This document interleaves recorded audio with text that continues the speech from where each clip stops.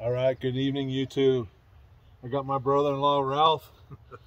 he came up for a secret visit. He's here, we're gonna do a coffee challenge. What do you think? And uh, he uh, he just sent me into 999 subscribers today. 999 subscribers. So uh, thank you everybody for pitching in and getting getting me, Gary. You guys, uh, you guys have been great. Uh, we're gonna whip up some coffee here tonight on the Peak, the Peak One. If you stick around, we'll get this fired up and uh, we'll have some coffee. All right. Again, we got the Peak One. We're going to use the Stanley press. You want to go ahead and fill fill up our this both of us so we'll go up. We'll do the big cut.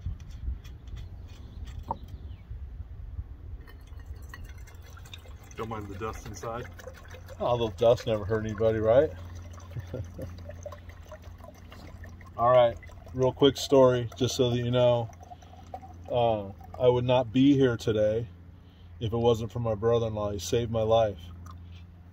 For real. So that's another story, right? That's another story.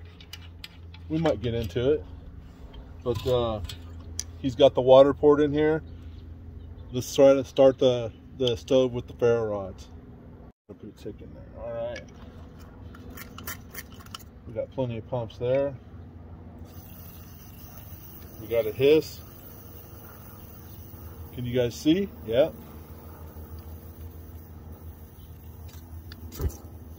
Boom. Boom, one one time.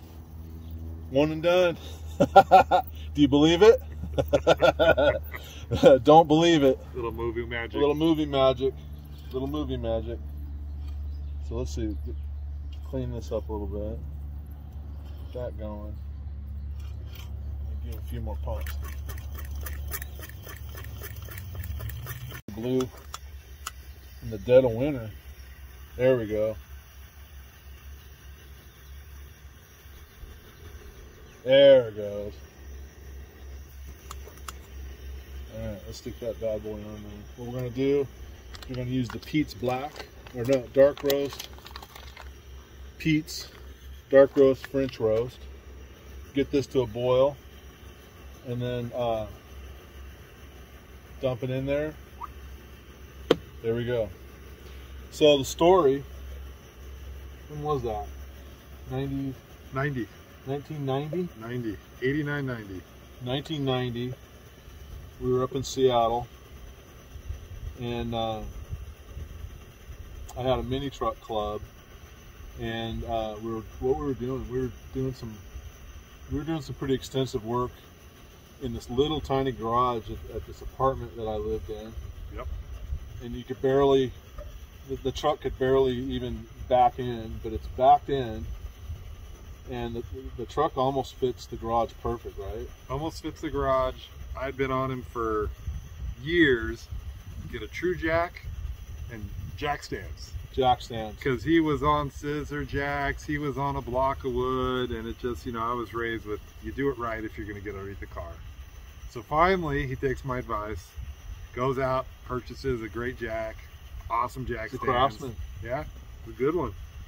And uh, he was working on it. I got hungry, you know. I didn't get this big from uh, not eating, so I go in to get get some get some lunch.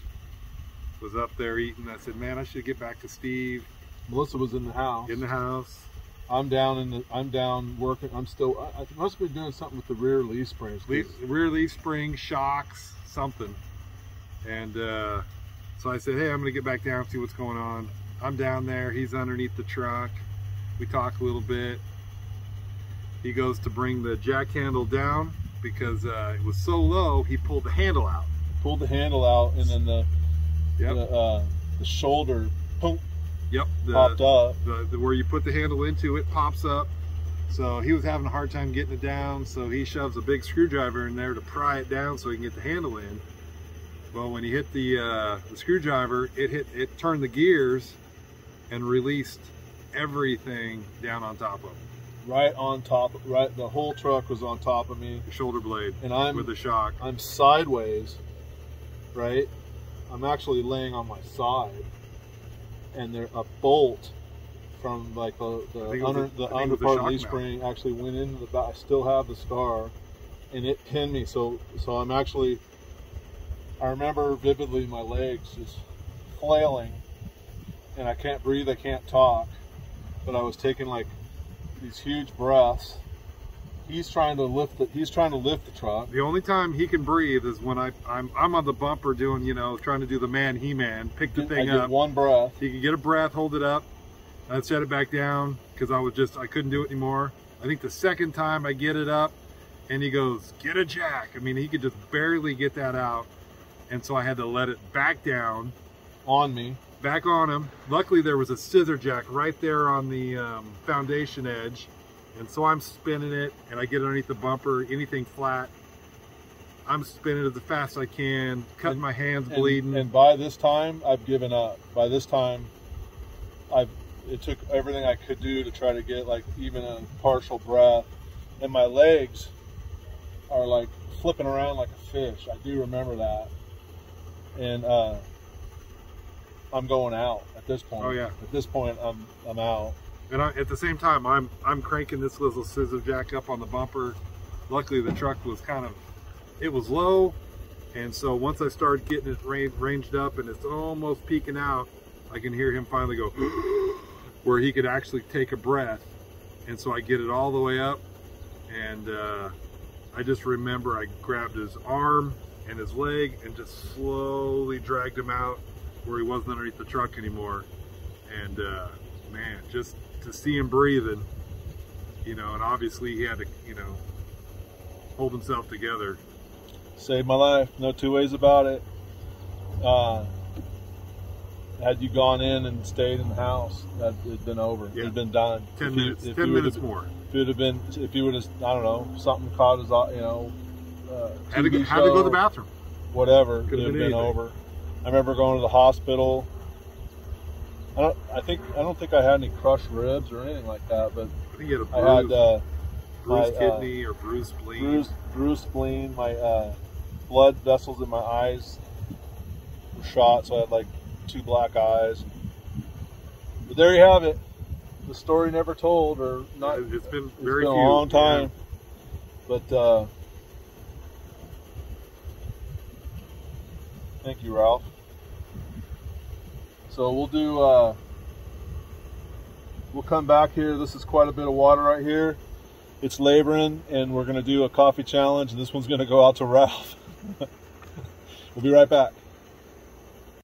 All right, so we got the big forces in, put the windshield in, or the windbreak. That's helpful, but actually, look at it. It's starting to. We got bubbles. We got little bubbles, It's happening. little debris. It's happening. All right, we got a roller. Look at that beauty. All right, put it in, Ralph. Get the, What do we get for coffee today? Nice Peet's, yep, dark roast. yep. All right, don't ask. don't ask, but there might be a blooper at the end. We'll just see. But uh, we're bringing her back up to uh, a boil here. We'll be right back. Okay, here we go. So now go ahead and uh, put our dark roast in there. Nice. That should do it. Give it a little stir.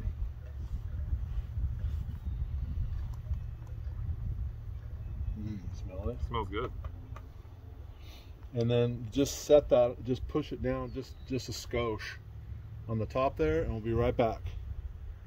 Yep she's ready.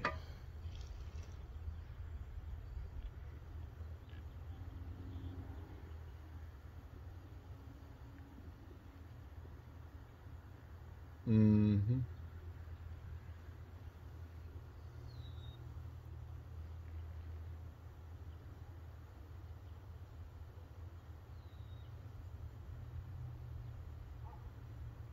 So have all my kids done a uh, I think I got Coffee challenge? Yeah, I got coffee challenges with all the kids.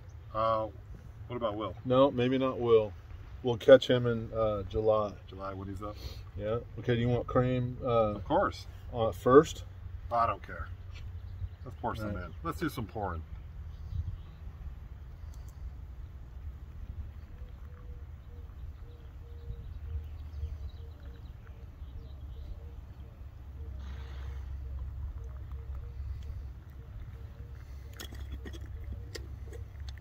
Go. How much sugar do you want? More than I should Tell me when. when it's empty. I gotta have some. That's good. Okay. And then we need to somehow get that potato out of there.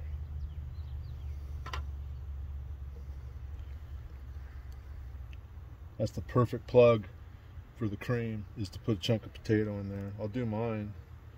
How about yours? Go ahead. Good? Tell me when. Again, when it's empty. No, I'm good.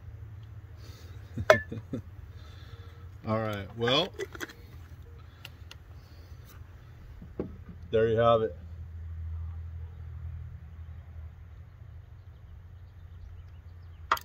Cheers to you, Ralph. To you. Thank you for uh, letting me come up and spend some time with you. Let's do it. Mm, good batch. That's good. It is good. Yeah. All right, guys, gals. I think we're going to hit a thousand subscribers today. Today. probably before bed. Uh, I might have to do some.